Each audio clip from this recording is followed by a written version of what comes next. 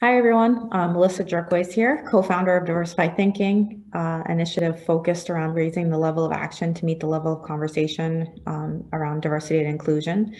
Uh, Chief Customer Experience Officer here at addapptation, a startup in New Hampshire focused around user experience and enabling great user experience uh, for our customers through technology.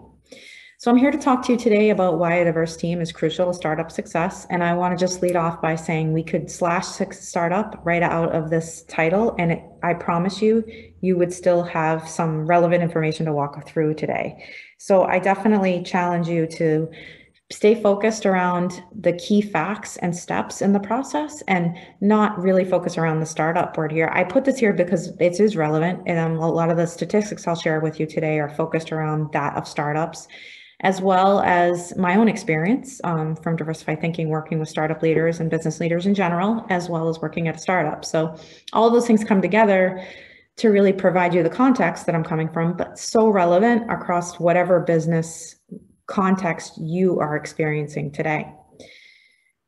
So let's get started. You know, I love this quote because I think that one of the things we think about diversity is the differences across people. That's obvious, right? Like different diversity, you get it. Um, what I think is amazing about this is how those differences come together. So, together is the key word here. Um, it's really around everyone bringing their unique perspectives to the table together. And really, I want to leave this here for a minute and let you ingrain this because it's so important for us to think about how we think differently and how we invite diversity of thought. And we talk about that a lot here at Diversify Thinking. Obviously, based on our brand, it's super important to us. And we take it really seriously. Um, and it does mean sometimes difficult conversations.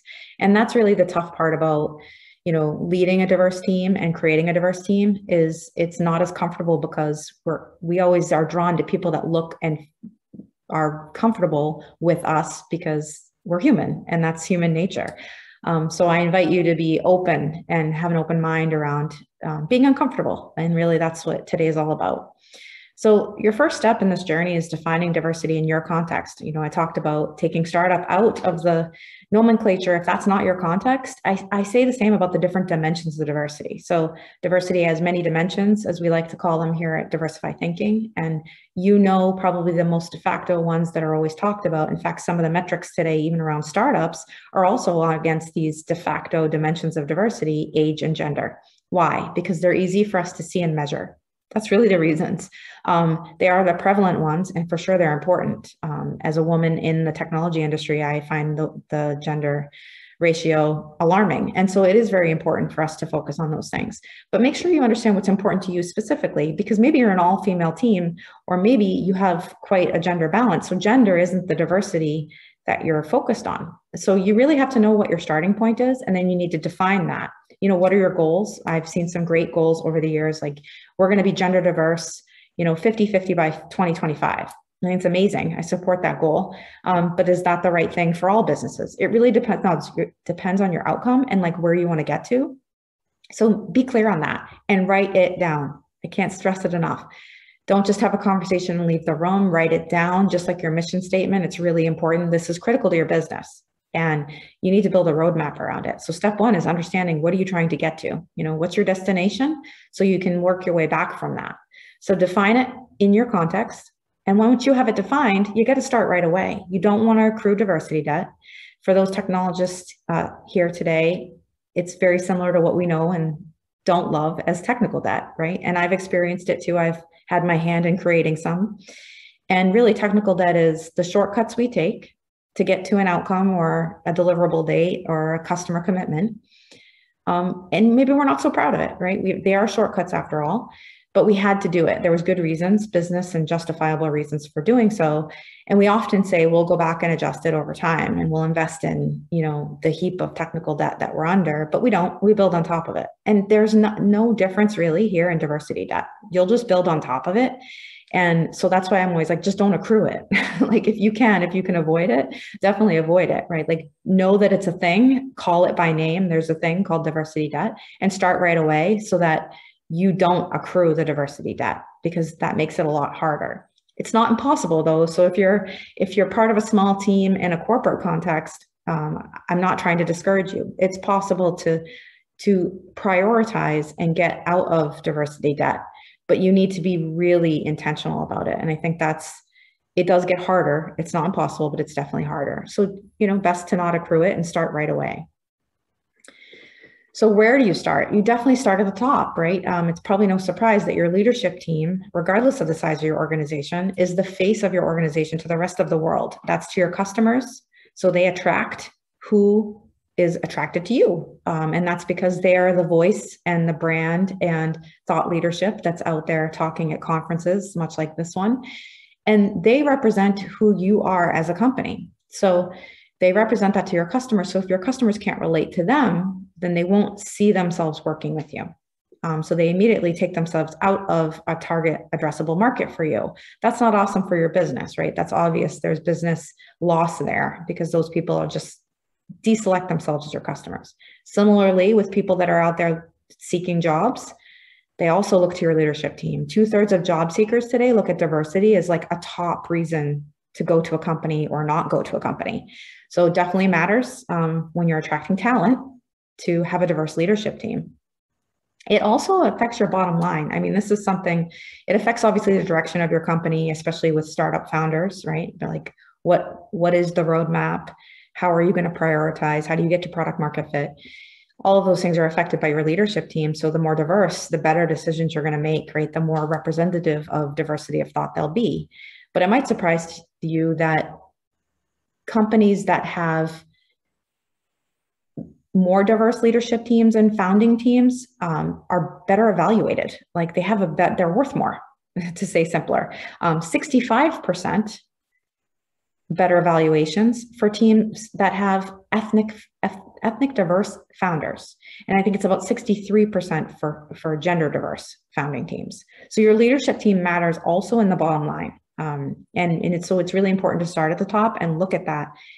And also challenge where you're recruiting leadership and could there be someone just right under your nose that you could create a pathway to elevate them in order to get that diverse leadership team? So you've defined it. You know you need to start right away and you know you need to start at the top. And you should start with hiring. Um, and but don't stop there. And also evaluate your recruiting process. You know things like your job descriptions. I have a gender decoder here. There's other decoders. This happens to be one that we've used and is also free. Um, we've seen great results with it. Um, there's also some that are that look for um, biases around race and, and other and other aspects of diversity. So definitely check those out and, and look at how you could use those against your job descriptions, your website. Um, lots of stories I could tell around people that have done this and the surprising results, including us. Um, and don't stop there, right? So make sure that you're building a more holistic process around recruiting in general, where you're inviting a more diverse group. That's part of screening your job descriptions and then ensuring that when they get to later stages that they get it they get to later stages. So what we've seen um, and what data has shown us is that if you use there's a thing called the rooney rule if you're familiar with it but essentially says like once you get to the second and third stage of hiring your your pool is is more you know diverse. Like again depending on your definition of diversity say it's gender like you'll have a 50 50 pool. And what we've seen um, historically and what what studies show is that the candidate that's the right candidate is is that that represents that element of diversity. So be intentional with it. Um, you got to start with it but then don't stop there right? Because now you've invited them into your team. So you need this is where inclusion comes in. And i've come to say quite frequently lately um, there is no diversity without inclusion so what does that mean it means inviting people to your organization to your team whatever your context is but not helping them feel that they belong doesn't create an inclusive environment and they inevitably will leave. Um, so you haven't really satisfied your goals. It's sort of vanity metrics at the front that you were able to recruit and maybe you did the work up front. But how did you make sure that you invited diversity of discussion and that they were able to bring their authentic selves to work? Because bringing their authentic selves to work is bringing their best selves to work. Um, you're getting the best value from them.